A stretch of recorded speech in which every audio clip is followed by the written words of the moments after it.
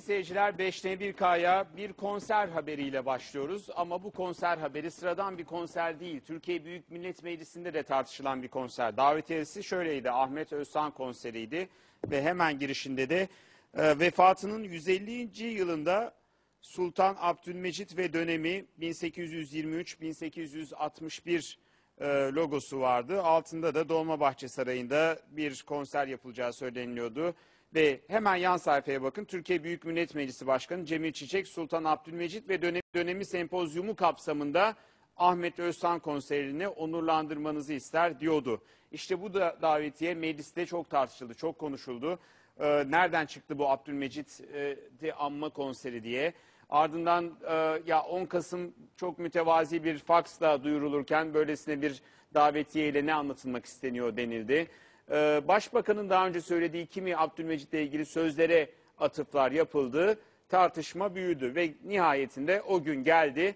Birazdan bu konser başlayacak ve bu konserin haberini de bize 5N1K'nın e, ekranlarda ilk kez göreceğiniz genç bir muhabiri verecek.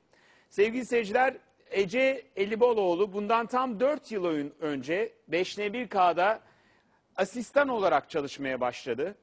Ee, her şeyi yaptı. Kahve taşımaktan başladı, montaj yaptı, ses yaptı, ses aldı, internet sitesine girdi, yönet programımızın yönetmen yardımcılığını yaptı, kurgusuna yardımcı oldu. Her şeyi öğrendi ve 4 yılın sonrasında ilk kez canlı yayında 5'ne 1K muhabiri olarak sizin karşınıza çıkıyor. Ece nasılsın? Ee, heyecan var mı diye sorayım ilk olarak. Yok şu anda hiç heyecan yok. Ee, sorularınızı bekliyorum. Evet Ece neredesin şu anda? Ne oluyor bu, bugün orada? Anlatır Şu mısın anda- bize? Şu anda Dolmabahçe Sarayı'nın önündeyiz. Ee, sizin de söylediğiniz gibi TBM ilk kez e, bir padişah için anma töreni düzenleniyor. Sultan Abdülmecit reformlarıyla tanınan Sultan Abdülmecit ölümünün 150. yılında Dolmabahçe Sarayı'nda anılacak. Peki neden Dolmabahçe Sarayı'nda anılacak? Çünkü e, Dolmabahçe Sarayı Abdülmecit döneminde yapıldı. Şu anda bir konser var e, Dolmabahçe Sarayı'nda. Davetliler de gelmeye başladılar. Gayet şık beyler, e, bayanlar geliyorlar. E, Ahmet Özsan bir konser verecek. Çeşitli bestekarların eserlerini seslendirecek. Ancak bu konserin e, bilindiği üzere Abdülmecit e, sempozyumuyla herhangi bir alakası yok. Yalnızca davetiyede sempozyuma gelenleri de e, davet ettikleri için e, bu şekilde bir karışıklık yaşandı. Peki biz neden buradayız? E, çünkü son günlerde Abdülmecit'in anılmasıyla ilgili tartışmalar e, yaşanıyor. Tartışmaların ışığında da 17 Kasım tarihi var. E, tarihçiler Abdülmecit'in bu tarihte anılmasını doğru bulmuyorlar. Çünkü Abdülmecit 27 e, 25 e, Haziran e, tarihinde vefat etti. Oysa ki 17 Kas- Kasım tarihi başka bir nedenden dolayı önemliydi. 17 Kasım tarihinde son padişah Vahdettin bir İngiliz gemisine binerek Türkiye'yi terk etmişti. Ee, Sultan Abdülmecid'i anma törenleri yarın saat 10'da başlayacak. Açılış konuşmasını Türkiye Büyük Millet Meclisi Başkanı Cemil Çiçek yapacak. Ardından saat 14'te bir sergi e, e, açılışı yapılacak yine. Saat 15'te de Abdülmecid'in e, adıyla bilinen Mecidiye ve Kağıt Parelerin sergisi açılacak. Bu sergilerde bir ay boyunca ziyaret edilebilecek. Evet Ece e, kaçta başlıyor konser? E, kaç kişilik bir salonda oluyor? Her ay oluyor anladığımız kadarıyla bu konserler. Konser saat 20'de başlayacak. E, bu e, her ay düzenlenen saray konserleri olarak geçiyor. E, içeriden aldığım bilgilere göre bu konsere genellikle Dolmabahçe Sarayı'nda çalışanların e, yakınları davet ediliyor. O yüzden bu akşam da e, davete gönderilen protokoldeki isimlerden e, birinin gelmesi beklenmiyor. Peki. Ece çok teşekkür ederim bizi bilgilendirdiğin için. Ben teşekkür ediyorum. Aramıza ve e, haber televizyonlarının ekranlarına hoş geldin. Umarım bu ilk yayını hayatın boyunca unutmazsın. Umarım bir gün sen burada oturursun. Bu sefer ben orada sana bağlanırım. Bu sefer sen sorarsın ben cevaplarım muhabir olarak. Çok teşekkür ediyorum söylediklerin için. Ben teşekkür ediyorum. İyi yayınlar. Sağ olun. Evet Ece'yi biz genelde hep rejide e, görüyor. Siz görmüyorsunuz ama hep benim kulağıma konuşan Ece'dir aslında. İlk kez gördük. Sayın Doçent Doktor Erhan Afyoncu yayınımıza katıldı. Hoş geldiniz. Hoş bulduk. Nasıl buldunuz genç muhabir arkadaşımızın performansını? Hayırlı olsun. Hayırlı olsun. Ee, Başarılar. Biliyorsunuz haberin temeli muhabirliktir. Tabii tabii. Yani o olmadan olmuyor. Ve maalesef medyada da son yıllarda en fazla ihmal edilen sektör o. Evet. Benim dışarıdan gördüğüm. Biz çok önem veriyoruz ama bir muhab- özellikle mesela medyada şöyle bir ortam oluyor. Pek çok genç arkadaşımız geliyor. Sizin akademide de oluyordur. Evet. Hemen ben işte verin mikrofonu ben Tabii. habere gideyim diyor. Aslında Ece'nin durumu o yüzden çok önemli. Dört yıl boyunca sabretti ve her şeyi yaptı kamera arkasında. Ondan sonra ekrana çıktı. Bu şeyde bir farklı bir boyut katıyor. Şimdi Erhan Bey siz ne olduğunu anladınız mı? Siyasiler tartışıyor. Herkes birbirine girdi.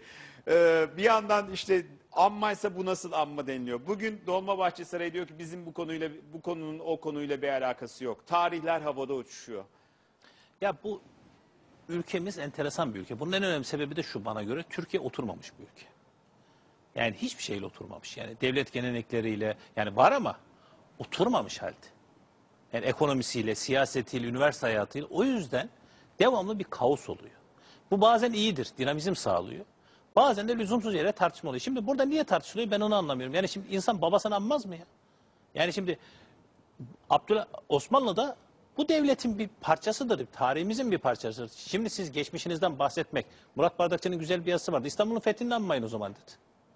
Yani şimdi belli yerleri anacaksınız, belli şeyleri anmayacaksınız. Padişahları bu sonra bir konserden konseri bilmiyorum ama öbür benim bildiğim sempozyum. Evet. Bir padişahla ilgili, padişah ve dönemiyle ilgili bir sempozyum ve bu normal.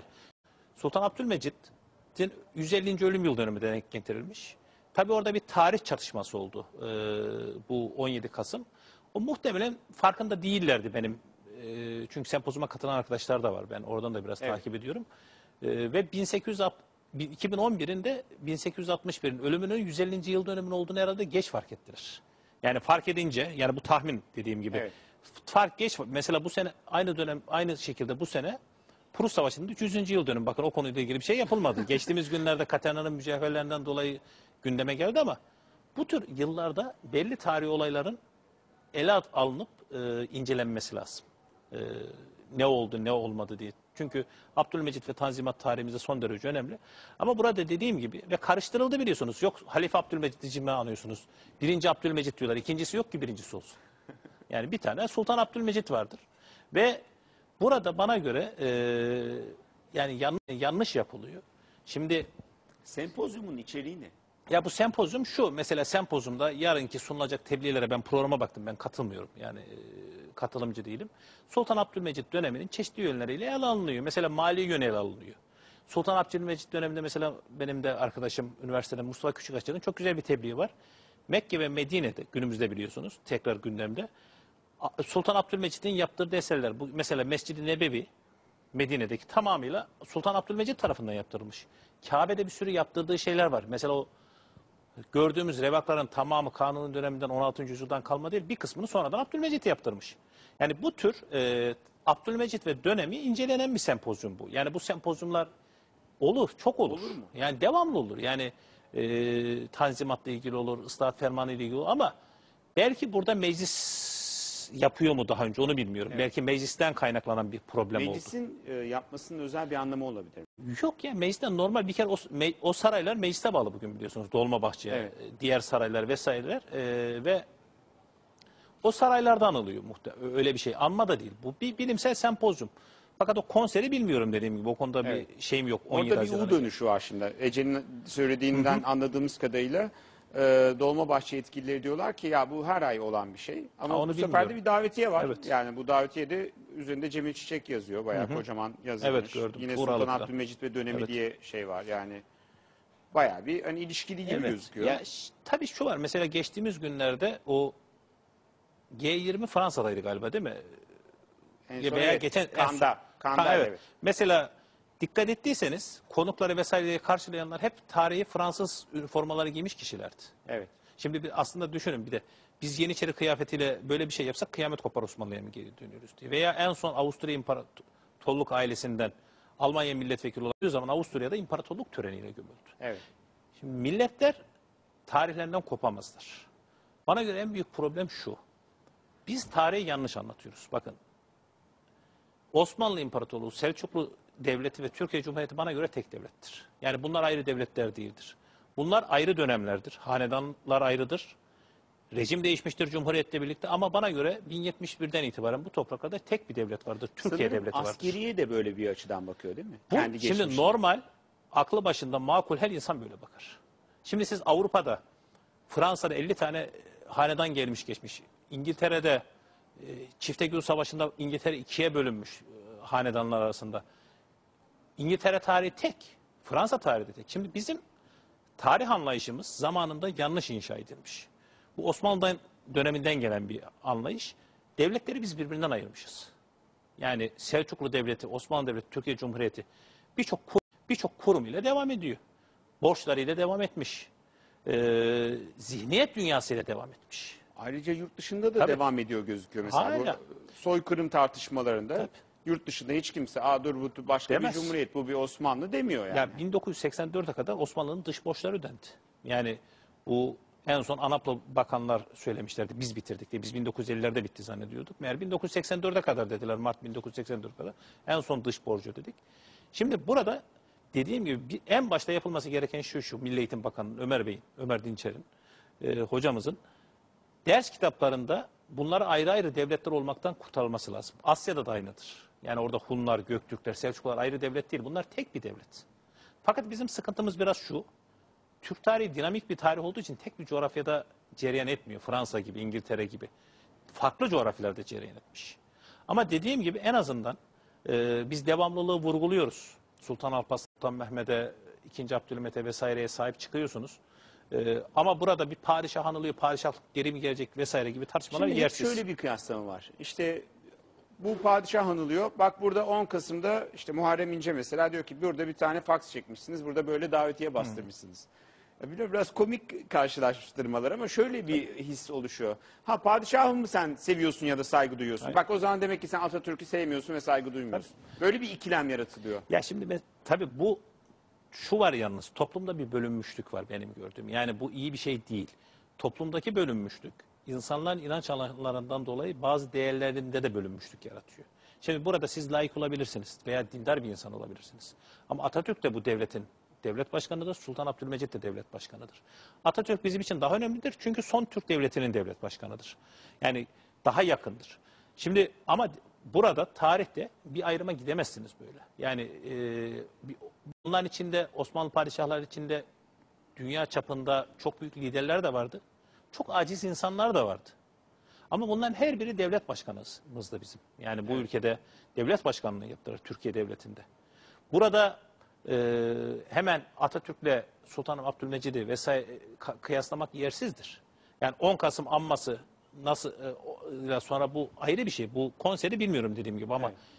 10 Kasım yıllık yapılan e, Türkiye'de belli törenlerdir. Ama Sultan Abdülmecit'le ilgili böyle anma günlerinde anma İşte yapabilirsiniz. 17'si diye bir işte Vahdettin. Türkiye'den ayrılması ona denk getirildi diye dalga geçenler Onun var. ben bilinçli olduğunu zannetmiyorum. Rastlantı. Yani bakın dediğim gibi mesela bakın bu sene Prut'un 300. yıl dönümüydü Prut Savaşı'nın. Herhangi bir şey duymadım şimdiye kadar. Prut Savaşı ile ilgili bir şey yapılır, yapıldı mı bilimsel etkinlik vesaire.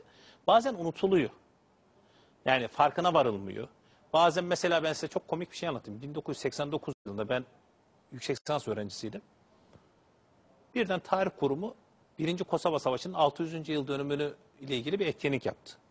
Hocalarımıza sorduğumuzda şunu dediler. Sırplar yapmış biz oradan aklımıza gelmiş. yani o, o- yani Sırplar ve Sırpların aslında yaptığı o etkinliğin sonucunda Sırplar e, Sırbistan, Yugoslavya'daki diğer Müslümanlar yönelik katliamları başlattılar o Kosova. Evet. Çünkü Kosova Savaşı onların tarihinde önemli bir tarih. Bazen farkına varamıyorsunuz. Yani e, kurumlar varamıyor vesaire varamıyor. Son anda farkına varılabiliyor. E, burada da ben hiç 17 Kasım'ı şey olarak yani akıllarına geldiğini zannetmiyorum öyle bir şeyin. Biraz Abdülmecit'ten de bahsedelim bitirmeden önce. Evet. Yani önemi nedir? Yani farklılığı nedir diğer padişahlardan? Yani şimdi baktığımızda? Sultan Abdülmecit e, Batı tarzında ilk yetişmiş ilk hükümdardır. Yani Batı tarzında e, yetişmiş, e, Batılı gibi yetişmiş, o zihniyet yetişmiş. ilk Osmanlı şehzadesidir. Yani ondan önce bu değerlere yakın insanlar o 2. Mahmut ama babası 2. Mahmut daha doğuludur. Tabii Sultan Abdülmecit döneminin şöyle bir özelliği var. Türkiye'nin artık iyice batılılaştığı bir dönemdir. Evet. Tabii bunu da keyif için yapmıyorlar. Şimdi bunu bazıları ihanet olarak görür. Bazıları olumsuz bir şey batıya boyun eğme gibi görür. Bir çaresizlik var. Devlet kendini yenilemeye çalışıyor. Kendini yenilemeye çalıştıkça e, başarılı olamıyor. Silah almayla başarılı olacağını zannediyor. Olmuyor. En son kurumlarını değiştiriyor ve batı kurumları gibi kuruyor. İşte Sultan Abdülmecit ile birlikte yapılan da budur. Ee, O açıdan Sultan Abdülmecit aslında ta- e, Cumhuriyet tarihi, inkılap tarihi dersleri anlatıldığı zaman 3. Selim'den başlar. Yani Sultan Abdülmecit Cumhuriyet tarihi geleneğinde de önemli yeri olan bir adamdır. Yani batılaşma, e, batı tarzı devlete Evet. geçme açısından. Yani ona o şekilde bakılması lazım. Yani şimdi mesela demek ki meclis 2. Abdülhamit'le ilgili bir şey yapsa daha da büyük kıyamet kopacakmış Türkiye'de. Yani Öyle mi? enteresan bir ülke yani herhalde öyle anlıyorum. Valla bayağı da soru geliyor bu konuyla ilgili. Gerçi sizin programınız da çok popülerdi. Bayağı şey Estağfurullah. geliyordu. Onunla da ilgili var. Bitti mi tarihin arka odası? Ya programı? şu anda yapmıyoruz. Dinlenmedeyiz. dinlenme. Dinlenme dönemindeyiz. Mecburi bir dinler misiniz? Yok mecburi değil. Biz kendimiz yapmıyoruz. Evet. Ee, mesela Abdülmecit ile Atatürk'ü ayıran çok yönler var demiş, dediniz. Ona da çok takılan var. Var mı? Hayır, ayıran değil. Birleştiren. Hayır şimdi Abdülmecit Orada bir kafa karışıklığı olmuş gelen şöyle şeylere. Abdülmecit'le ayıran değil. Şimdi Abdülmecit döneminde başlayan aslında Abdülmecit de değil. 3. Selim'le birlikte başlayan bir batılaşmanın sonucudur Cumhuriyet. Yani Atatürk son noktayı koymuştur orada. Çünkü Türkiye doğulu mu batılı mı olacağına tam karar verememiştir Osmanlı döneminde. Ee, tabii şey farkı şu. Sultan Abdülmecit e, bir imparatorluğun devlet başkanıdır. Atatürk milli bir devletin devlet başkanıdır. Yani bir imparatorlukla bir milli devlet çok farklıdır ve burada şunu söylemek lazım yalnız. Abdülmecit dönemi imparatorluğu dağılmamaktan kurtarmak için Osmanlılık fikrinin ön plana çıkarıldığı bir dönemdir. Yani günümüzde de biliyorsunuz Türkiye'lilik kimliği tartışılıyor. Bu Osmanlı'da da tartışılıyordu. Osmanlı bölünmeyi, parçalanmayı önlemek için biz Osmanlıyız hepimiz. Yani Rum, Ermeni, Sırp, Türk, Bulgar hepimiz Osmanlı kimliğinde birleştirmeye çalıştı ve bunun en etkin uygulayan kişi Abdülmecit'ti. O dönemde başladı Osmanlılık fikri fakat maalesef tutmadı. Evet. Ee, bugün aslında dünyada bir- böyle bir tartışma var Batı basınında. Türkiye bir Osmanlıcılık fikrini mi canlandırmaya çalışıyor? Şey, siz mesela tarihin penceresinden baktığınız zaman bugün dış politikada böyle bir şey görüyor musunuz? Ya şimdi bazen tarih sizi belli kulvarlara sürükler. Şimdi son 20 yılda Türkiye ve dünya Osmanlı ile yeniden tanıştı. Yani bu iyi analiz edilirse bu rahatlıkla çıkıyor. Rusya'nın dağılmasından sonra Balkanlarda, Orta Doğu'da, Kafkaslar'da yeni bir düzen, sistem kurulmaya başladı ve orada her taşın altından Osmanlı çıktı. Bundan bir 5-10 yıl önce David Fromkin'in bir yazısı vardı. e, New York Times'ta. Osmanlı'nın hayaleti diye. Amerika diyor dünyanın neresine giderse gitsin karşısına bir hayalet çıkıyor diyor. Kosova'da diyor. Arap ülkelerinde ne her yerde diyor. Çünkü 600 yıl hüküm sürmüş e, ve her yerde izini bırakmış bir imparatorluk. Bunu şimdi 90'lı yıllardan sonra dünya Amerika yeni dünya düzenini kurarken bu Osmanlı izleriyle karşılaştı. Türkiye'de bu yeni dünya düzeniyle birlikte kendi geçmişine daha fazla sahip çıkmaya başladı ki aslında bu da normal bir şeydi. Yani daha önce olan anormal bir şeydi. Mesela 99 700. yıl kutlamalarını bilirsiniz. O da Türkiye'nin tarihiyle barıştığı bir dönemdir. Evet. Mesela o dönemde hiç Osmanlı ile ilgili olumsuz şeyi birkaç dinozorun dışında söyleyen olmadı. Yani şimdi tenkit edebilirsiniz ben bir şey demiyorum. Ama kardeşim Osmanlı ile Türkiye Cumhuriyeti ayrı demek son derece saçma sapan bir şeydir yani. Yani siz babanızı inkar edebilir misiniz? Edemezsiniz. O da o şekilde yani ve burada yalnız şöyle bir şey yanlış yapılıyor. Eğer Osmanlı'nın gücünde olmadan Osmanlı'nın siyasetini yapabileceğimizi zannedersek ki ben bunu mesela açıkça söyleyeyim Ahmet Davutoğlu'nun bu tür bir şeyi hiçbir şekilde düşünmediği kanaatindeyim. Ve kendisi de telaffuz etmiyor Osmanlılılığı. Batı Arapları bizden uzaklaştırmak için telaffuz ediyor. Çok büyük tuzağa da düşebilir Türkiye. Yani gücünüz olmadan o siyaseti izlemeye çalışırsanız. Şu anda Türkiye normal olanı yapıyor aslında. Yani normal komşularla ilişki kuruyor. Osmanlı'dan kalma nüfus var Balkanlarda. Bunlar Türkler ve diğer Müslümanlar. Mesela Arnavut ve Boşnak Müslümanlar var. Bunlara sahip çıkmaya çalışıyor gücünün yettiği ölçüde. Bu normaldir. Bu Osmanlılık değildir. Fakat Batı basını bunu Osmanlılık, yeni Osmanlıcılık diyerek Türkiye'nin önünü kapatmaya çalıştığı kanaatindeyim. Evet. Ve dikkat ediniz devlet adamlarımızdan bu tür bir şey duymuyorsunuz Osmanlılık vesaire diye. Evet, Erol Kepenek diyor ki sorun Abdülmecid'in alınması değil davetiyelerin birinin fotokopi diğerinin altın varak olması bu adil mi diye soruyor. Mesela siz bu tartışmaya nasıl bakıyorsunuz? Valla o dediğim gibi davetiyi hazırlayan ben olmadığım için bu tür bir şeyi benim eee, cevaplayabileceğim bir soru değil. Yani o meclisin kendi problemi. Evet. Eee, yani burada davetiyeyi daha önce nasıl hazırlıyorlardı 10 Kasım davetiyesini şimdi nasıl hazırlıyorlar bilemiyorum. Ama mesela konser davetiyeleri benim bildiğim genelde böyle biraz daha şatafatlı davetiyeler olur. Yani bu yalnızca Türk musikisi için değil Batı musikisi için yapılan konserler. Son olarak bir sempozyum nedir? Ne yapılır? Mesela yarın ne olacak? Bu Ya bir haline mi sempozyum, getiriliyor? sempozyumun kim seyreder? Kim katılır? sempozyum şöyledir yani bir sempozyum bilim adamlarının katıldığı e, toplantılardır. O toplantılara katılır. Kişiler o konuyla ilgili çeşitli tebliğlerini sorarlar. Yeni fikirleri varsa yeni araştırmalarını ileri sürerler ve orada bilim adamları tartışır. Bu yani genelde e, hatta bazı sempozyumlar 5-10 kişinin katıldığı toplantılardır. Yani bir bakarsınız dinleyici sayısı katılımcı sayısından daha azdır. Yani ama bu Moral bozulur mu? ee, yok bozulmaz çünkü bu normaldir. Şimdi siz orada çok teknik hususlar mesela tartışıyorsunuz. Yani orada normal kamuoyunun gelmesine gerek yok. Mesela bir konferans verirsiniz genel. Orada çok insan katılabilir. Evet. Ama ama bu konferans herhalde bayağı son yılların en e, geniş katılımlı sempozyum Herhalde olacak. yani bir şey Çünkü görecek. beni de arayanlar oldu. Biz oraya gitsek nasıl gireriz? Ya dedim halk açık bir şey herhalde. Yani e, ve özellikle mesela yarın gidecekler sabahleyin e, Sultan Abdülmecid'in bu Mekke Medine'ye yaptığı hizmetleri anlatan bir tebliğ var Mustafa Küçükaç. Onu dinlesinler. Çünkü Türklerin ve Osmanlı sultanlarının haremeyne çok büyük hizmetleri var. Yani bugünkü yapıların oluşmasında günümüzde de sık sık yıkılma dolayısıyla gündeme geliyor. Yani orada görecekler mesela çeşitli kaynaklara dayalı olarak bir dönem tartışılacak. Ee, bu normaldir yani bu tür şeyler yapılır ama siyasileştiği zaman, popülerleştiği zaman bu şekilde daha fazla Şimdi mesela bizde yayınlanan, CNN Türk'te yayınlanan e, dört farklı yüz, e, pro- dört fa- o, par- o hürriyetin şeyi. Bizde Nazlı Ilıcak işte dört bir taraf programı var. Nazlı Ilıcak, Altan Öğmen, Enver Aysever, Nagihan Alçı. Mesela orada da ben bakıyorum bir Abdülmecit tartışması var. Son günlerde köşelere görüyorum böyle bir tartışma var. Ne oldu biz niye bu Ya tartışma? şimdi ama biliyorsunuz siz ben habercisiniz. Bu ülkede çok hızlı konu tüketen, hızlı başlayan, hızlı bitiren, en fazla giden tartışma 15 gündür. 15 günü geçen ben bir Ben bir tartışma... hafta ha, görüyorum. yani bazılar 15 gün oluyor. Çok büyük felaket evet, olursa istisnai olarak. No yani tartışılıyor ya şimdi şeyi hatırlayın.